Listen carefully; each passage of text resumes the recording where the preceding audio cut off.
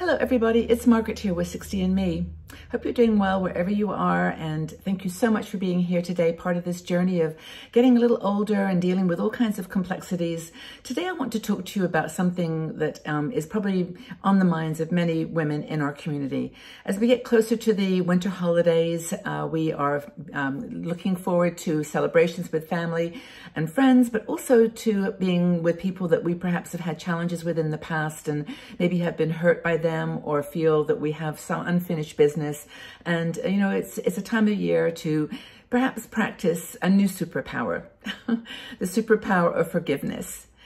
Now, I know this is challenging and complex, and I don't want you to think for a minute that I don't um, respect and understand some of the underlying things that may have gone on that you know that have created the um, the, the, difficulties with you and your family, your friends.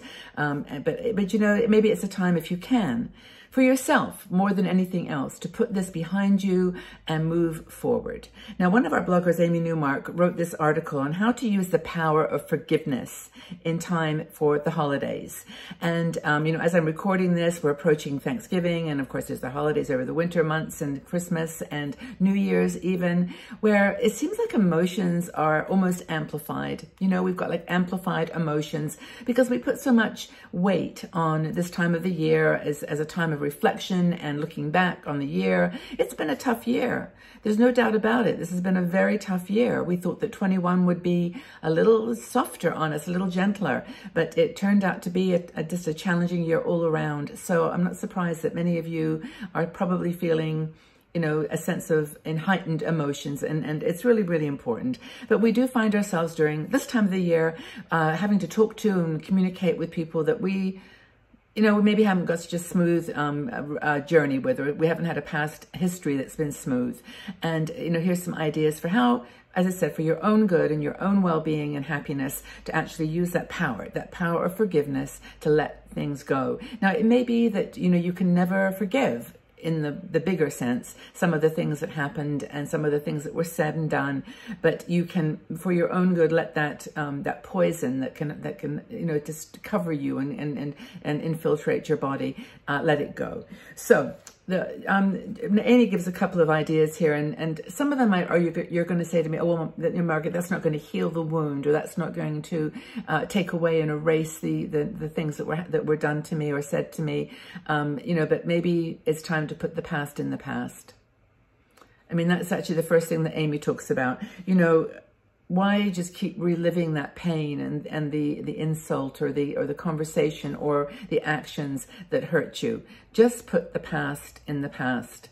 And I know that, um, you know, that's not something that perhaps a lot of you can do because it, it's too painful, it's too hurtful, but don't bring it with you into the present if you can help it. And also don't take it to, into the future.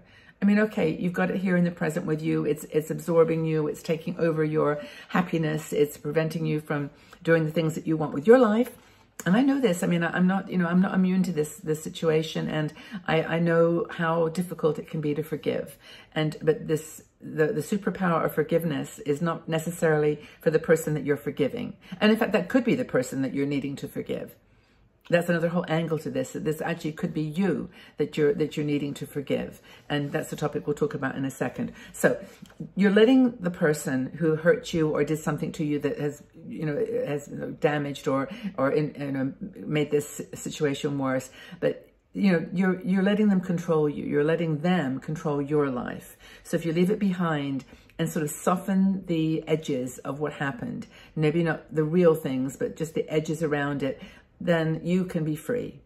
You know, it's just carrying that weight on your shoulders is just not um, not, not a pleasant feeling. And in fact, she talks about that, about, um, you know, forgiveness not being, um, excusing bad behavior. It's not, it's not making, getting that person, you know, giving them a free uh, ticket, you know, out of jail ticket to actually, um, you know, not have to be responsible for what happened or what they did. It doesn't, it doesn't take that away, but it does actually stop relieving, reliving the bad events or the, the negative conversations or the hurt.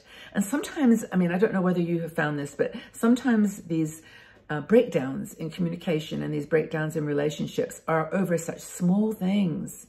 You know, a lot of times we talk about estrangement from our children and our, our family friends, and we find that it was one trigger one trigger event, one word, one sentence, one, one even look, one, it could be just a very small thing that actually triggered a whole series of a ripple of, of negativity that, that left a scar. But you know, maybe if you can let that go and stop reliving, reliving those bad events, you can leave it in the past. The other thing and this is more difficult. And I, when I read Amy's article, I, I was like, mm-hmm, okay, I can get this, but still, still, they had a choice when, when someone hurt you or made a statement or did something to you or you, you know, whatever, you made a decision to, to separate. Um, the, you know, they may, had, had reasons too, but what she says in the second point is try to figure out in your mind what motivated that conversation. And in the article, she actually goes through a very long um, uh, story. I think it was a television show where, you know, this, this kind of unfolded with a couple and how it's like, you know, the woman was so angry and upset with what her ex-husband had done, but she, you know, she's held onto it and just kept digging it and digging it deeper. And then she stopped to realize that, you know, she was forgiving herself and it was like, she did the best she could in that in that relationship they were in love at the beginning. She did the best she could and she doesn't hold herself responsible anymore. But the part of it that she then had had to embrace was what motivated him. What was his motivation?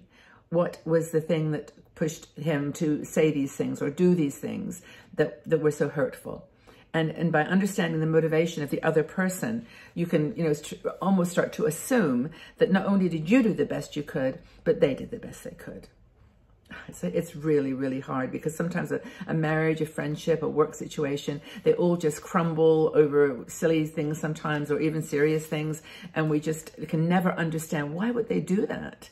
Why would they hurt me like that? Why would they make this difficult, so difficult? But given that, we're talking about a healing process here and we're trying to do things and offer suggestions that will help you to lift yourself up over these negative um, feelings, then maybe that's something you can do. You know, just try to understand what motivated them. We know we did our best and we maybe assume or understand or accept that they did their best too. So bottom line for Amy, and I think it's one for me too, is make forgiveness your superpower. And there's a Chinese proverb that she quotes. I like this. It says, gold cannot be pure and people cannot be perfect. We're not perfect. You're not perfect. I'm not perfect. And the people that we are holding uh, sadness or grudges or, or uh, uh, you know, feelings of um, non, non-forgiveness towards, they're not perfect. And we know this. And it's really hard. It's hard to let go, but when we get around the dinner table at Thanksgiving or Christmas or the holidays or any time, and we see that person and we remember what they did or they, we remember that what they said, that we somehow just allow them to be free be free of it. And it's just it doesn't cost you anything. It doesn't you know there's no money that needs to be exchanged. They don't even need to know that you've forgiven them in fact, it probably sometimes is better that you don't say that because then it will bring up the whole situation again. But if you know in your heart that you have forgiven them, you've let them go, you've accepted it was, you know, something they were they were motivated in their own ways to do, and that you're you're you're like claiming your freedom by forgiving them. I think that's a really cool way to look at it actually. And what, you know, what is it? it you know, gives you the opportunity to leave room now for you to be filled with love and to be filled with positivity. It doesn't keep that dark corner inside of yourself that, you know, you just want to hide in all the time because you just, well, maybe you even feel guilty about some of the things that happened. You know, did I cause that? Was that my, my responsibility? And I actually do remember looking at some of the articles, uh, the comments to the articles on estrangement. And it's really, really sad how uh, there's a lot of people that answer in the questions that they made the decision to split from their family or their their, mom or their, their, their dad because they were hurt and communication had broken down and they just couldn't take it anymore. And maybe you're feeling guilty or sad because you know in your heart of hearts that there were some things that were true there. And it's just always easy to take your own side and to cover and surround yourself with people who support your, your story and your memory of how it all went. And maybe it wasn't quite that straightforward. I know this is these words are even hard to say because I know how much it touches so many of you in a very, very deep and powerful way. But I think maybe even practicing the power of forgiveness um, with yourself is a good place to start. And then when you get around the table with these people, you meet them for the holidays, even in a casual setting, to just know in your heart, I've forgiven you. you'll feel lighter. Actually, Amy talks about the fact that it's like this whole thing of, of feeling guilt, feeling guilt and, and, and inability to forgive. It's like a, uh, like a really heavy mask, like a heavy cape that we're wearing, like a super cape. and it's like we need to take that off. We need to, our superpower is subtle and beautiful and refined. And it's a sign of our maturity and a, a sign that we're ready to put the focus back on us. So I hope that you found that a useful conversation. Please leave your comments below. Are you holding grudges or resentments? Are they keeping you from fully enjoying your life as it is now? Leave your comments in the section below. We're here to help each other through these tough times and perhaps there's someone's other, other person's comment will help you to um, let go of your own, uh, the own feelings of, of um, intolerance or lack of forgiveness and just be free. Free yourself. So if you like this video, please do me a favor and press at least press the like button because that allows the, the, video to be shared. But also subscribe to this channel. I do four videos a week. Our bloggers also publish lots of articles and videos and we'd love to share them with you. So just press the subscribe button and if you know, want to know when the uh, videos are released, just the notification bell next to it and know that I would appreciate it so, so much. Take good care of yourselves, sending you all lots and lots of love. And uh, from the bottom of my heart, thank you for being here. I do appreciate you so, so much. Take good care, everybody. Talk again soon. Bye for now.